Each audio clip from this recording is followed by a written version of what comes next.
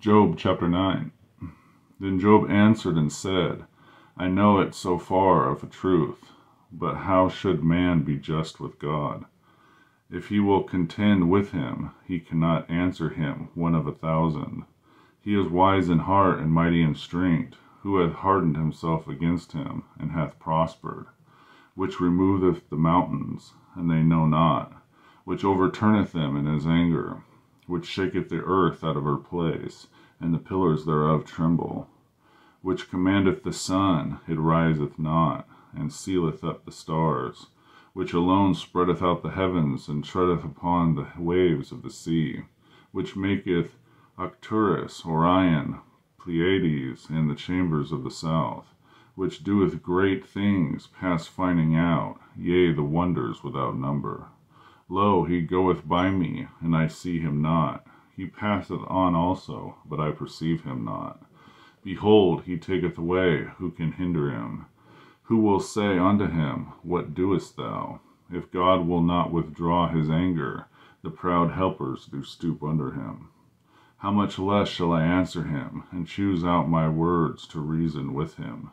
Whom though I were righteous, yet would I not answer, but I would make supplication to my judge.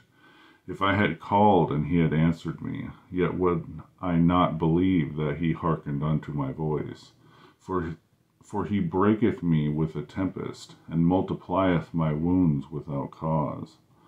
He will not suffer to take my breath, but, but filleth me with bitterness. If I speak of strength, lo, he is strong. And if of judgment, who shall set me a time to plead? If I justify myself, my own mouth shall condemn me. If I say I am perfect, it shall also prove me perverse. Though I were perfect, yet would I not know my soul. I would despise my life. This is one thing, therefore I said it. He destroyeth the perfect and the wicked. If, he, if the scourge slay suddenly, he will laugh at the trial of the innocent. Excuse me. The earth is given into the hand of the wicked. He covereth the faces of the judges thereof. If not, where and who is he? Now my days are swifter than a post.